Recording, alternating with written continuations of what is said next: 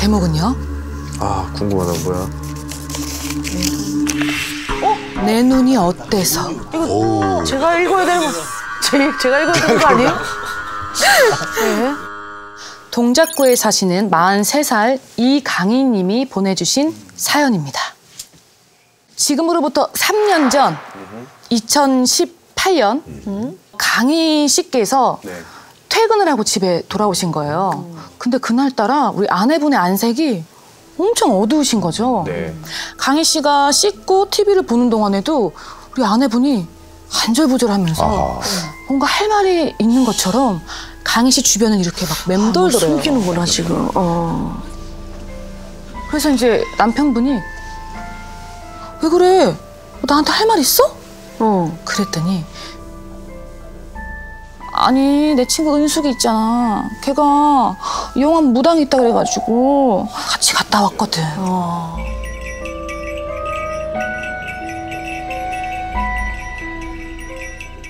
점괘를 다 보고 나오려고 하는데 그런데 그때 이 무당이 아내분께 어. 너 니네 어머니 얼마 전에 가슴 아파서 병원에 입원했지? 어, 근데 정말로 한 달 전에 강희 씨의 장모님이 협심증으로 일주일간 병원에 입원을 했었다는 거예요. 그 무당이 네. 니네 엄마한테 백호살이 들었어. 근데 이게 흉살 중에 흉살이야. 근데 하필 네가 올해 상문살이 들었어. 성무살은 그 어머니한테. 잘해. 초상 치르는 뭐. 어머니한테 잘해. 너 저기 상복 입을 수도 있다. 이렇게 얘기를 하는 거예요. 아, 너무, 근데 너무 찜찜하다. 찝찝하다. 그러니까 너무 찜찜하죠. 그래서 이 아내분이 어 무슨 말씀 그렇게 하세요? 이러고 일어나려는데 사람 하나 살리려고 그러는 거야. 복채 안 받을 테니까 앉아. 이것도 이렇게 억지로 앉히시더래요. 그리고는 이 흉살을 피할 수 있는 비법을 알려주시기 시작했대요. 첫 번째, 1년 동안 니네 어머니, 니네 가족, 결혼식, 장례식 절대 가지 마. 부정 탄다. 가족이 다. 두 번째, 정 가야 되면 소금이랑 팥을 꼭 가지고 가. 네? 그리고 집에 오면 꽃게가 들어간 음식을 먹어야 돼. 꽃게. 그래야만 상갓집에서 붙은 귀신을 떼어낼 수 있다. 그래요. 이런 얘기를 하시더래요. 깨는 처음 들어. 그렇죠. 꽃게 너무 기이하죠. 네네네. 네. 근데 이 이야기가 끝이 아니라 무당이 신신당부한 비법이 하나 더 있었는데 올한 해가 다 가기 전에 어머니랑 바다 건너 섬에서 하룻밤을 자고 오라고 아. 이런 얘기를 하더래요. 저런 얘기도 어디서 들어본 것 같아요. 어. 그래서 만약에 1년 동안 어머니한테 귀신이 붙더라도 물을 건너가면서 힘이 약해진 귀신은 네. 떼어버릴 수 있다. 이렇게 얘기를 하더라는 거예요. 그래서 1년 내내 이 가족분들과 장모님은 결혼식, 장례식을 될 수 있으면 피했고요. 어? 가야 한다면 이제 소금. 소금과 팥을 가지고 간 거예요. 근데 이제 꽃게가 문제가 좀 있죠. 예. 왜냐면 장례식에 갔다 오면 이미 응. 거의 상점들은 문을 닫잖아요. 어떻게 해야 되나 하다가 다행히도 24시간 해물 순두부집을 찾아냈대요. 네네네. 아, 있어요, 있어. 해물 순두부집. 있어요. 그런 찾으면 있을 수 있습니다. 그 안에 있는 꽃게를 먹고 또 이제 짬뽕 안에 있는 맞아, 꽃게, 꽃게 있죠. 있잖아요. 네. 예, 예. 그거를 먹으면서 어떻게든 1년 동안 해결을 해 나갔던 거죠. 그렇게 이제 시간이 흘러서 어, 11월 달이 됐어요. 거의 다 왔네. 거의 다 거의 다 왔죠. 다 왔다, 다 왔다. 아내분이 다시 얼굴이 어두워지면서 어, 오빠 기억나? 그 무당이 엄마 데리고 바다 건너 섬에 갔다 오라고 했잖아. 맞아, 맞아, 맞아. 그래서 이 강희 씨가 서울에서 가까우면서 바다 건너에 있는 강화도 강화도 좋아요. 강화도 펜션에서 강화. 하루 자고 오기로 한 거예요. 근데 막상 또 이제 강화도에 오니까 괜찮은 거야. 재밌죠. 어, 날씨도 너무 좋고 어, 또 바다를 보니까 기분도 좋아지고 이제 또 여행 가면 어떤 게 중요하죠? 먹는 거죠. 먹는 거. 네.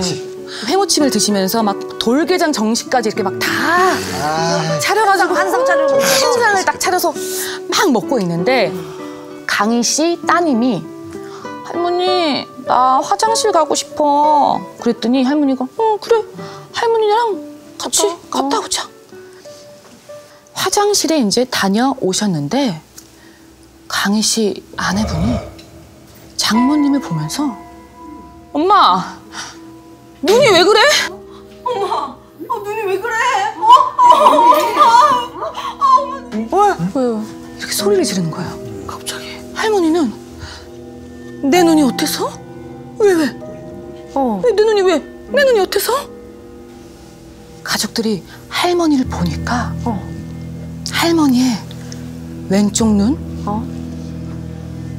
흰자위가 안 보일 정도로 새빨갛게 충혈이 돼 있더래요. 갑자기. 근데 주말이잖아요. 강화도에 연 병원이 없는 거예요. 그렇지, 그렇지. 찾았을 때 제일 가까운 병원이 네. 강화도에서 다리를 건너 무트로 나와야만 있는 어. 김포 신도시에 있는 어. 모 안과였던 거예요. 네. 이제 가서 이제 여쭸더니 의사 선생님께서 아 이거는 재채기를 심하게 하시거나 어, 고혈압이시면 이럴 수 있어요. 어. 근데 할머니는 재채기가 나온 적도 없고요. 응. 고혈압 증세도 없으셨어요. 그러니까 강희 씨 아내분이 엄마 화장실에서 무슨 일 있었어? 어. 뭔일 없었어? 물어보니까 할머니가 하시더니 이상한 일은 없었는데 이상한 사람은 봤어. 사람? 아니 이렇게 덩치가 커다란 여자가 화장실에서 고개를 이렇게 숙이고는 어, 미치, 어, 미치. 이렇게 오고 있는 거야. 얼굴을 이렇게 유심히 봤더니 아유 글쎄 립스틱을 입술 바깥으로 이렇게 크게 칠한 여자가 그의. 나를 보면서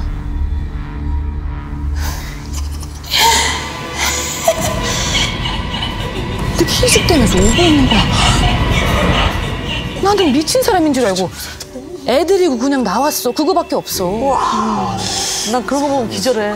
그런 얘기를 한 거예요. 그날 강화도에 도착하니까 이미 어둑어둑 밤이 되어버렸어요. 그래서 이제 잠을 청하기 시작한 거죠. 그래서 이제 이렇게 누워 있는데 강희 씨 아내분이 엄마가 본 그 여자 누굴까? 술 취한 여자겠지. 응? 뭔 그런 생각하지 말고 잠이나 자. 강희 씨도 잠을 자려는데 찜찜한 거야. 그날 강희 씨가 정말 생전 처음으로 가위에 눌렸대요. 여기까지 강화도에서 있었던 일은 끝이에요. 왜냐면 다행히도 이 눈도 일주일 정도 지나니까 핏기가 싹 사라지신 거예요. 피곤한 것도 어. 볼수 있으니까. 예. 얼마 후 또 강희 씨가 퇴근을 하려고 하는데 강희 씨 아버지, 네. 아버지께서 전화를 하셨더래요. 응. 강희야, 너네 외숙모가 돌아가셨다. 아이고. 나랑 같이 장례식 좀 가자. 강희 씨가 퇴근을 하자마자 아버지를 픽업을 해서 네. 장례식장에 도착을 했대요. 그래서 그날도 장례식장에서 술을 엄청 많이 드신 거예요. 취하셨으니까 강희 씨가 아 오늘 아버지 집에 가서 자야겠다. 음, 그래서 아버지랑 모시고. 부축해서 차를 타고 일산의 아버지 아파트에 도착했을 때 시간이 새벽 1시. 음. 취한 아버지를 모셔서 엘리베이터 쪽으로 가는데 어떤 여자가 머리를 이렇게 늘어뜨리고 그 사람이야? 그 사람은요? 엘리베이터 앞에서 벽에 기대서 이렇게 서 있더래요. 뭐지? 불안하다. 아버지를 이제 데리고 이렇게 갔는데 엘리베이터 기다리는 게 맞나? 버튼이 안 눌러져 있는 거예요. 와. 그래서 강희 씨가 버튼을 눌렀대요. 어. 엘리베이터 문이 열리고 아버지랑 강희 씨가 들어가는데 응. 그랬더니 이 여자가 또 따라 들어오는 거예요.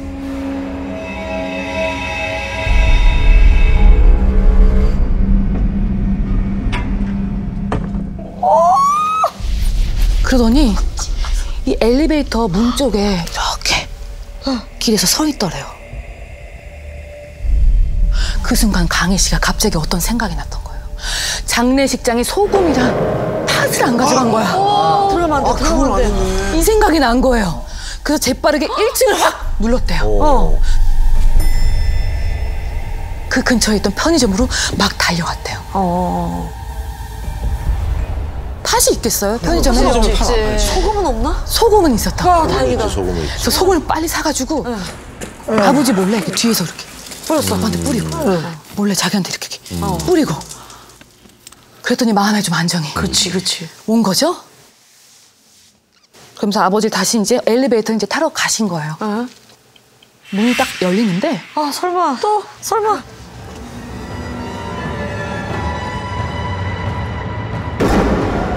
그 안에 그 여자가 아직도 있는 거예요. 그리고선 이 여자가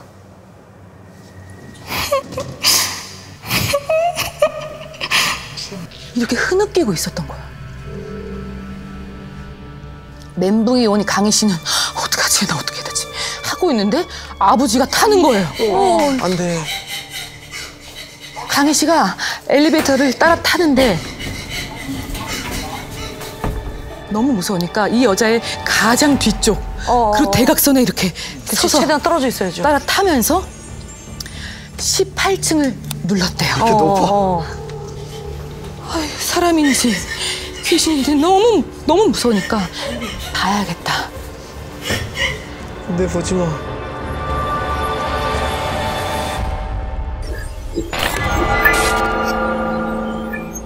눈이 마주친 거.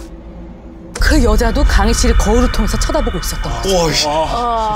고개 숙이고 계속. 계속 쳐다보고 있었던 거예요. 근데 더 충격적이었던 건 그 여자가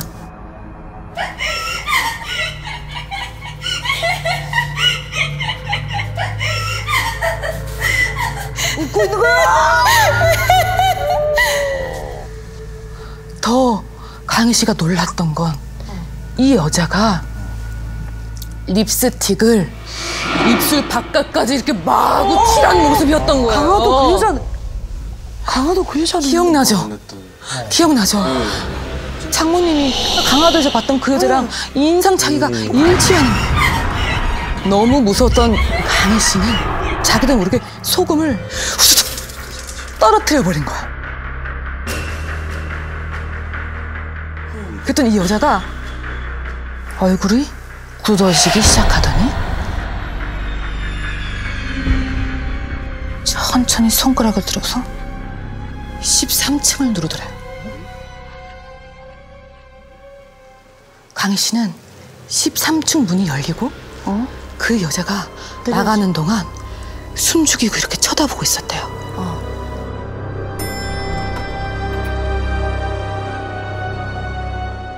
엘리베이터가 이렇게 닫히고 있는 그 순간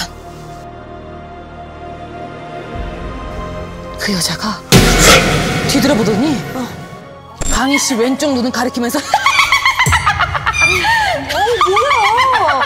어, 여기 이렇게 막 기괴하게 웃더래요. 강희 씨가 너무 놀래서 아버지한테 아버지 13층에 여자 내린 거 뭐 봤어요? 그랬더니 아버지가 무슨 여자? 그럼 아버지 13층에 젊은 여자가 살아? 그랬더니 아니야 아니야 거기는 노부부가 살아 아들 내외는 해외 가서 젊은 여자가 올 이유가 없어 과연 그 여잔 누구였을까요?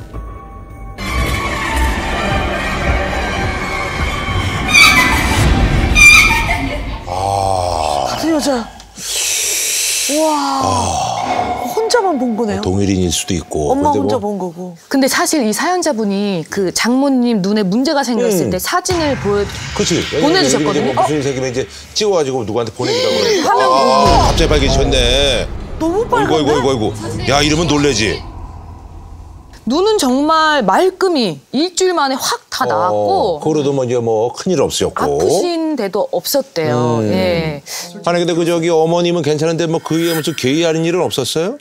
근데 어머님 건강은 음. 괜찮은데 얼마 후에 그 13층의 노부부 중에 할아버지가 풍이 오셨대. 아유 야. 그나마 돌아가시나 하고 다행이네. 병마를 옮기는 살이었나 네. 봐요. 아, 뭐 많이 하네. 그래서 너무 무서워서 이제 사연자분이 항상 소금이랑 팥을 차에다가 쟁여놓은대요. 그러니까 제가 이제 이 얘기를 들으면서 뭐 소금, 팥 이런 것도 뭐 쉽게 우리가 이제 알 수 있는 건데 특이했던 게 꽃게. 그래 맞아. 꽃게. 꽃게 처음 들어봤어요. 근데 이 꽃게 얘기를 들으면서 왜 꽃게지 하면서 또 중간에 약간 또 입맛을 다신 분도 계세요. 어, 간장게장이라든지 꽃게탕이라든지 꽃게 맛있다. 꽃게 맛있잖아요. 예. 이게 있어요. 꽃게, 빨간 거, 그 다음에 뾰족한 거, 짠 거. 이 세 가지가 귀신을 쫓는다고 해요. 아 그렇게 해서 그것도 맞네. 응. 아니 근데 그 여자의 정체는 진짜 뭘까요? 그러니까 이야기만 보면 약간 저승사자 같은 뭐 그런 느낌이 좀 나는 것 같아요. 예. 그런 느낌이 근데 우리 전통적인 저승사자 그런 모습과는 좀 다른. 저는 그것보다 이렇게 같은 형체의 어떤 걸 봤다는 거. 아마 그 살이라는 게 그 여자의 형체를 하고 어머님을 따라갔는데 아, 살 살. 물을 건넜기 때문에 힘이 좀 약해서 멀리서 해가지고 왼쪽 눈만 또 이렇게 이상하게 이렇게 붙어가지고 그렇게 아니, 그거 안 됐는데 믿는다고 하더니 뭐 구체적으로 또 이렇게 또 얼룩덜룩하다고요.